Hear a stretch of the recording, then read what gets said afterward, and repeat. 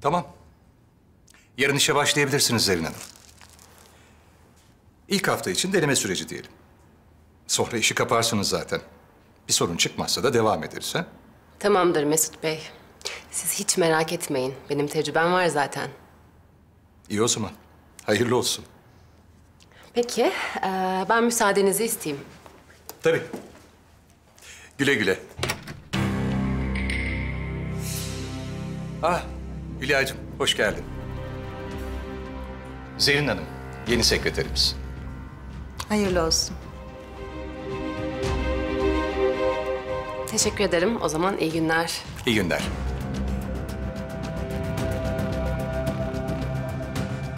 Hadi gel otur.